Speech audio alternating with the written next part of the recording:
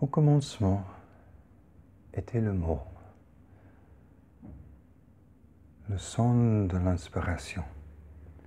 Et inspiré par le lointain souvenir d'un tel instant, sois libre de donner la parole à ces pensées émergentes, tes pensées émergentes, ou tes pensées tout simplement, et les laisser résonner et trouver l'inspiration dans ton souffle. Approchez ton âme, inspirer dans la projection de ces pensées, les écrire avec aisance, facilement, juste comme elles viennent, comme un mot, tel des mots donnent des mots.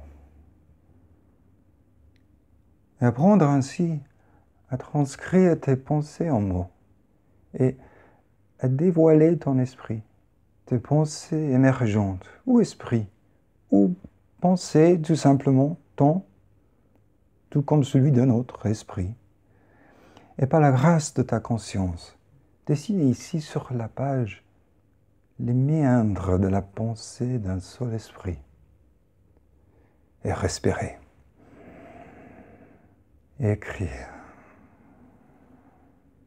et simplement respirer et écrire.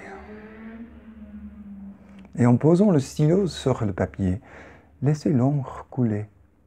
L'écoulement de l'encre si facile, de sorte que, quelle que soit ton inspiration, tu l'écris, tu la projettes, tu la transcris. Tu écris maintenant, immédiatement, afin de trouver enfin ta voix et ta vocation. Et peu à peu, libérer ton inspiration et entendre cette voix résonner comme un son retentissant, venu du silence,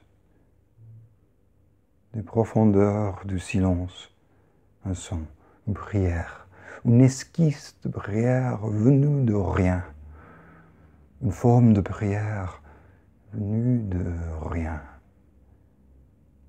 Et un rêve de jour et de nuit